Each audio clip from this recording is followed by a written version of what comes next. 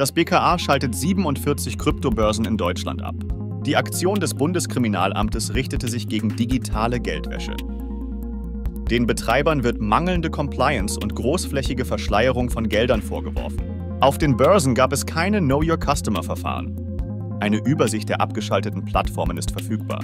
Das BKA erklärt, dass die Angebote darauf abzielten, Kryptowährungen anonym zu tauschen, um deren Herkunft zu verschleiern.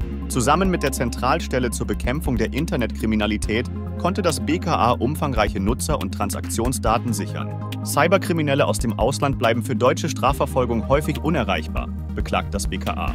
Letztes Jahr wurden Chipmixer-Server beschlagnahmt und sicherte der Behörde 90 Millionen Euro. Diese Meldung erschien zuerst auf unserer Website. Für weitere Informationen zu Kryptowährungen abonniere unseren Kanal oder schau dir das nächste Video an.